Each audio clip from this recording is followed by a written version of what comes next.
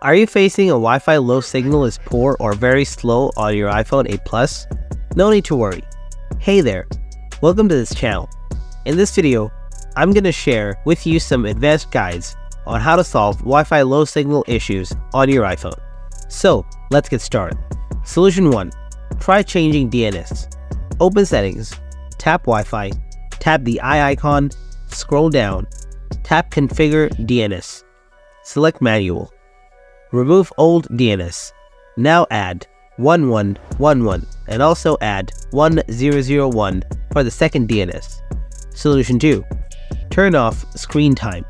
Open settings, scroll down, tap screen time, scroll down, tap content and privacy restrictions, turn off screen time from here. Solution 3. Turn off background app data. Open settings, scroll down, tap general, scroll down, tap background app refresh, tap background app refresh again, select off. Solution 4. Reset network settings.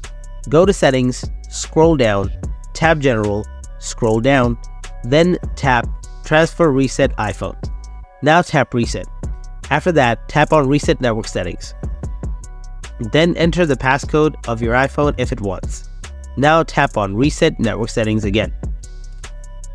So, this is the way to solve Wi-Fi low signal issues on your iPhone.